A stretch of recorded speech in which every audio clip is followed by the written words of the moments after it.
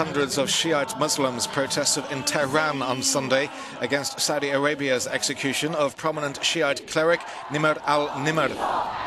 Demonstrators chanted death to al Saud royal family, as well as the US and Israel that they say support the kingdom. The supreme leader of Iran, Ayatollah Ali Khamenei, condemned Saudi Arabia on Sunday. This is really a crime, he says. It's a big crime. It's also a mistake because his blood will catch up with them without any doubt. The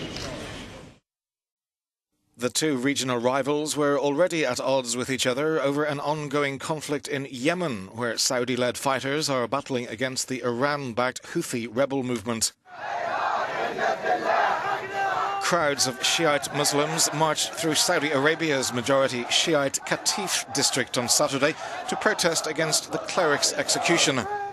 Amnesty International said he was convicted after a political and grossly unfair trial. Al Nimr was an outspoken and long standing critic of the Saudi government's discrimination policies against the Shiite minority.